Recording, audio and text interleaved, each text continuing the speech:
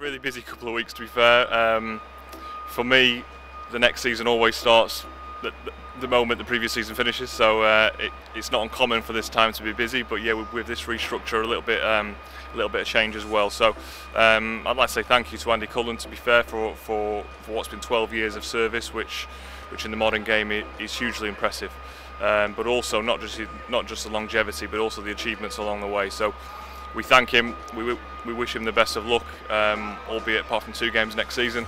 Um, and yeah, we move forward. Uh, football is a relentless business, and if you don't change quickly, and if you're not able to adapt to change, um, then you can easily be left behind. So, yeah, really exciting times. I'm really looking forward to it. Um, it's a role I've given a lot of thought to. I've worked towards. Um, so yeah, can't wait to get going now. To be fair. It's a fantastic move from the club in my opinion. It shows um, how the chairman thinks, how, it, how, how he wants to strive forward and improve things. Um, the, the, sporting director model, the structure if you like, and the structure that we're going to implement here um, is something quite common in Europe. It's getting more and more common here. Um, and basically what what we've discussed is is somebody in the sporting director role and, and really managing the day-to-day -day football activity, but also how that how that grows, the evolution of, of our, our football development pathway, how we get more academy players into the team, um, and obviously a huge part of that is recruitment. Um, and you know, I'm not naive enough to think that that's not going to be a major part of the role because ultimately the most important people at our club are the players, and we put a lot of emphasis on um, you know financially making sure we have a really competitive team on the pitch. So for sure, uh, the the immediate work starts now on that, uh, and I'm really looking forward to it because I've I've been working with Russ. Um, there's you know this isn't an appointment that's searching for for huge change. This is an appointment just to take us to the next step. I've got a fantastic relationship with Russ. We've already been working together throughout the recruitment process, um, so I only see that getting stronger now. Um, and yeah, we, we, we will uh, be working hard to get a really competitive team out for next season. The backroom team here are um, incredibly talented and, and the culture that Russ has implemented um, has been fantastic and he, he, under the leadership of Russ for the last 18 months this club has changed a lot. It's gone back to what the chairman feels is important in terms of identity, in terms of the style of play um, and that in this appointment is how we can really grow now um, and really emphasise that and make sure that those things stay consistent and we never have to go through a period that we perhaps did prior to Russ. But yeah, we're really excited by it. Um, the backroom team's in a, a really strong place. Um, we'll all just get together now in this new structure with Simon um, and with the rest of our guys to really make sure that we're improving each season. There can be a lot of focus on um, on the football players, on, on how talented they are, on where they're going in their career journey. Uh, but actually it's about people as well and, and we want to make that step now with this structure and, uh, and the surroundings that we can create off the pitch.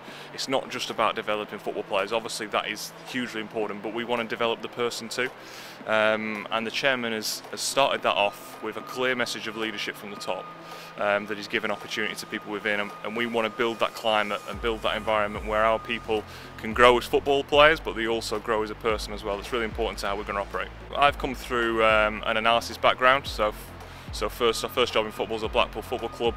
Um, straight in the deep end working in, in, in the Premier League there. Um, and then obviously joined joined Crystal Palace from there. Had five sustained uh, years of success really in the Premier League um, which was a really proud achievement. And yeah, the opportunity here to head up the recruitment was huge for me. Um, and I think we've improved. We've it, it's taken time, but um, the best processes do take time, as uh, as our manager will tell you.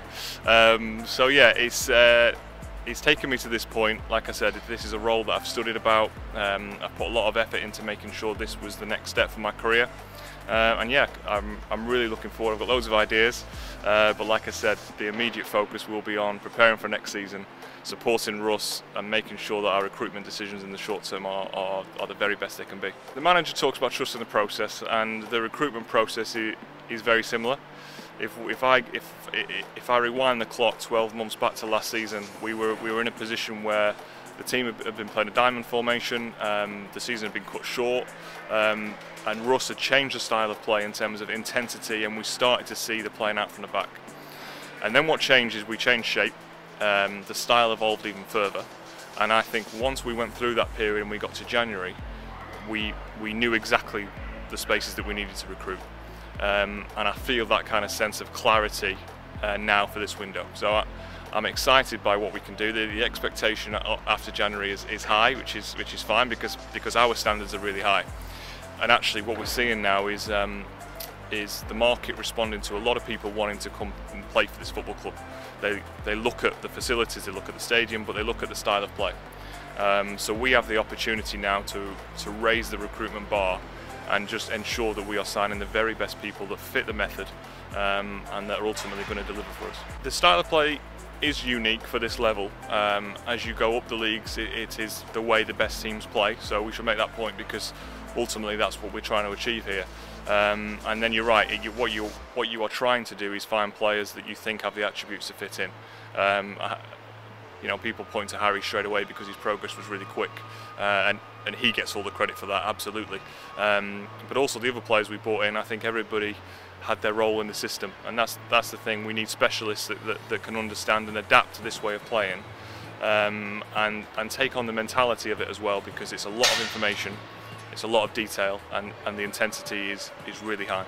What my job is now, and, and obviously we've we've we've touched quite a bit on recruitment here, but that's only one aspect of it. But a, a huge aspect of it is to make sure that we're we're forward planning. So we reacted really well to Reece going um, in terms of the signings that we made. It would be even even better for me if the answer was already in the building and we could promote an academy player or we already had signed that player six months prior. That's when I know that we'll be operating really well. Um, and that's you know an obvious target for us to make sure that we're um, we're basically prepared for every eventuality as we have done for this restructure and as we've been able to move really quickly. The buzz that we get when somebody breaks through uh, and the academy do a fantastic job here under John. You know they've they've gone through a lot of changes recently, but to to sit here in the stands the other night in the under 17 game and see how we how we took on Tottenham, um, it was fantastic. And you you you're all I'm always looking through the lens of which one of those is going to challenge Russ's thinking uh, the quickest. Um, so obviously we saw Brook do really well. We saw one or two others really, really stand out that night. Um, and yeah, that's what that's what the fans want to see. If we can if we can get an MK Dons a local through or an MK Dons fan, um, that's the best part of it. And you know, like David Kasumu's um, uh, contribution has, has been fantastic. That's that's the type of, of player we want to see playing for MK Dons. So absolutely, we're not sat here thinking that the style's fantastic with a 13th place finish. We're thinking, what's next? How do we improve it? We look at some of the goals we conceded, where they came from. Um, and all, all of that is the day-to-day football side of the business that I'll, that, that I'll be involved in, driving standards, making sure that we improve because um, we'll, we'll all sit here and admit 13 is not good enough, we want to do better than that. We're not trying to just finish in the top 10, we want to do the best we can possibly do. Um, and the recruitment decisions will have a massive impact on that. But we want to support Russ and we want to have him to have the complete focus in achieving everything that he wants to achieve. So um, yeah, we're not going to sit here and say and, and, set unrealistic targets, but we're going to really strive to do the best that we can. Um, and I think that's really important because you look around the place, um, you look how differently we operate with our style of play, and you think, come on, let's let's achieve something together here whilst we've got the momentum. Fans here have been great. Um, we've really felt it actually this year. The the online presence of obviously the guys watching it on iFollow, but the support like via social media and via the contact that we have had with the fans has been brilliant. Um, and I'm really excited for them to see how the style has has developed when they come back and see the game live because it's so different. We've been in an incredibly pr privileged position to see it evolve and see the nuances that um, that Russ has changed th throughout the season. Um, so yeah, absolutely, it's absolutely fantastic. Look, let's let's really hope for a brighter, um, you know, next season, and the fans will will fill this place and uh, and cheer us on for sure. I think keeping that connection is really important. So um, you know, the guy, the fans that I've seen online doing extra things to make sure there's a connection this season. Uh, I think we need to carry that that that momentum and and how they're feeling about their football club again is really important. So we need we don't need to um, we don't need to think that the job's done there. We need to continue to connect, continue to engage with the guys, and um, and yeah, look, obviously really look forward to what could be a, a good season next year.